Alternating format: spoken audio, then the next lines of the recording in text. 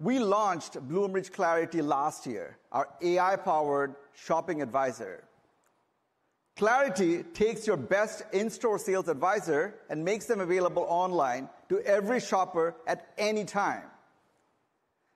And we're excited to have a number of customers using Clarity at this time and sharing our vision of end-to-end personalization.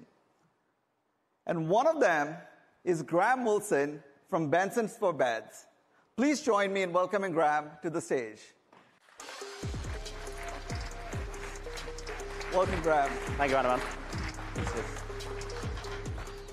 Graham, tell us a little bit about Bensons for Beds. So Bensons for Beds is a U.K. market-leading beds and mattress specialist. We have over 170 stores in the U.K., and our purpose is simple: we exist to give our customers a great night's sleep. And what does personalization mean in the context of the customer journey for a furniture retailer like yours? So 85% of our customers start their journey online. However, our stores are a really important part of that experience. Comfort is subjective, right?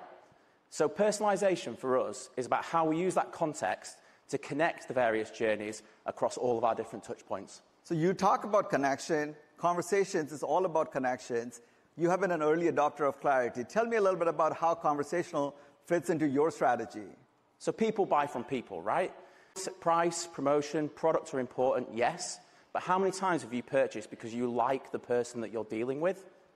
Digitally, that's difficult. That's where Clarity comes in. It can help us start conversations, create connections in context with the right tone that you want to portray as your brand.